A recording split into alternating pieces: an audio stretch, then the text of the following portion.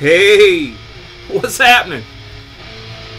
Anthony with Metal Miners. Man, I want to do a quick video uh, to participate in the celebration for Cody and I's friend, Mr. Johnny Mack from Rockin' Metal Plus. Uh, Cody and myself, man, we just love the dude, you know. Uh, he's over 500 subs now. Been waiting a little bit to do his 500 subs uh, celebration contest because a bunch of other guys are having contests now, so he held up a little bit. He's up over past 540 something now, probably over 550. I haven't checked today, but uh, just announced his uh, contest and already a bunch of guys jumping in. So I had a few minutes this afternoon and I wanted to get in on it, man. So in the background, uh, we're going to be listening to some death metal, some underground death metal from Chile. Two piece Frozen Blood with Revenge. Uh, this one's out 2023. This is a uh, Frozen Screams version. Drycoff did a version. Uh, several different uh, underground labels have done cassette and CD versions of this. Uh, just great stuff if you haven't heard of Frozen Blood. There it is.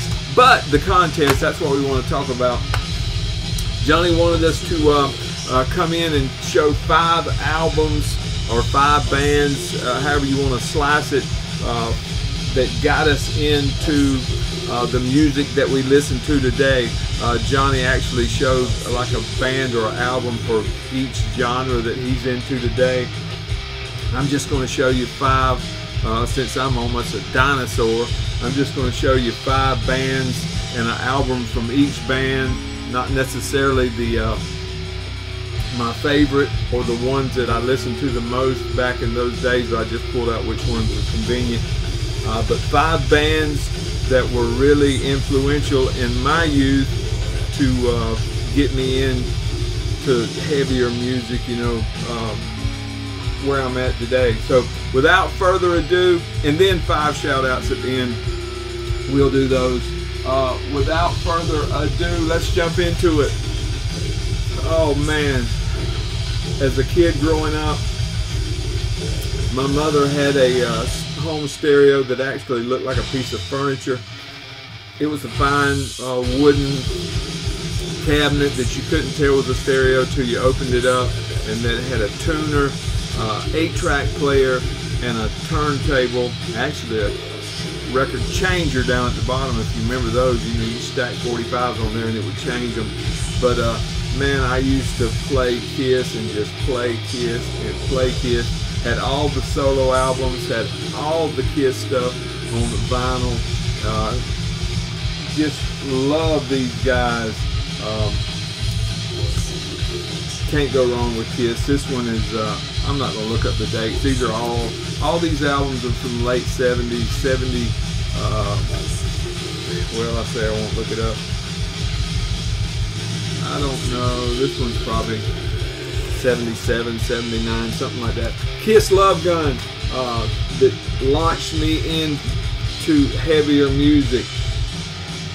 Uh, then I uh, stumbled on these guys, Van Halen. I've always been a guitar enthusiast. I've always just been mesmerized by guitar sound, electric guitar. Just it just draws me in and captivates me. And Eddie Van Halen uh, did it like no other could at the time.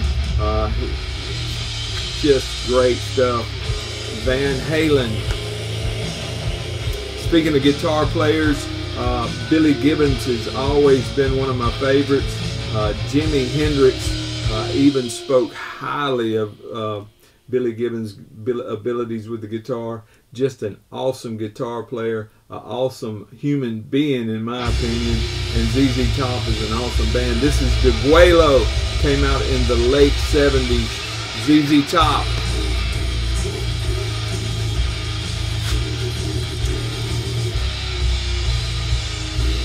This one needs no introduction. ACDC was very much a part of uh, my growing up. It was the soundtrack of my youth, if you will. Uh, I love these guys. Uh, I love the Bon Scott era of ACDC. I love the later, I love everything ACDC's ever done, man. Uh, Brian Johnson is just. Who don't love ACDC, man? One of my favorite bands of all time. And since I am a southern man, was a southern kid at the time, we were raised on Lynyrd Skynyrd, man. We were raised on. I uh, love Skynyrd. Actually, my my parents never really listened to music, but um, if you turned on the radio uh, in North Florida in the late 70s, you heard Lynyrd Skynyrd. Lynyrd Skynyrd ain't from Alabama, baby. Lynyrd Skynyrd is from Jacksonville, Florida. Um, this one's nothing fancy. There's the guys there. Uh, Yes, indeed, man. You just gotta love them. You gotta love them. Uh, this one is, uh, let's see, 1975. Uh, this is two years before the plane crash.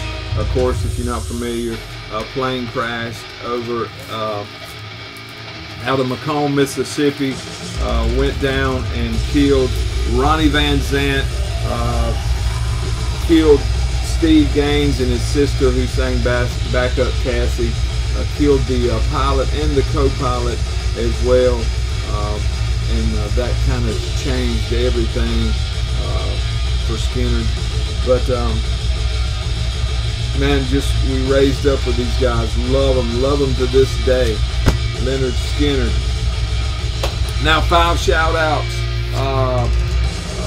No particular order, Renee from Spain, Holspa Metal is one of the guys I watched when I first started watching YouTube videos.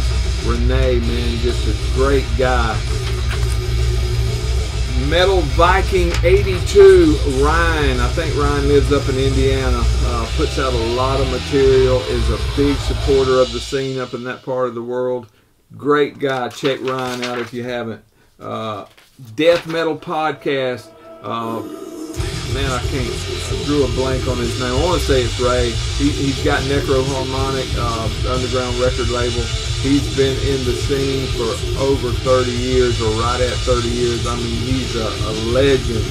Death metal podcast. Uh, be on most platforms, but it's on YouTube. I know. Uh, check him out. Here's a new young lady uh, kind of a strange title up here. I don't know. Uh, I got an M there. That's supposed to be an N. Lauren Michelle. I can't write. Uh, I just call her Lauren. Go check her out. I'll put a link in the description below. Young girl just starting out. Um, just she needs some love, man. Uh, she needs some some subs. She needs some of these older guys to come in and uh, show her the ropes. Great young blood in the vinyl community. That's what we need. Lauren, Michelle. The Ninth Circle. Go check Bill out if you haven't. Cool dude, man. Uh, older guy, you know. Not old as me. Of course, I, I think I am the antique of the vinyl community, man. It won't be long. I'll be getting the handicap parking at Walmart. You know, get up front already can get that senior's discount on the coffee at McDonald's. Thank y'all, man. I appreciate it. Uh, go check out my man Johnny Mac.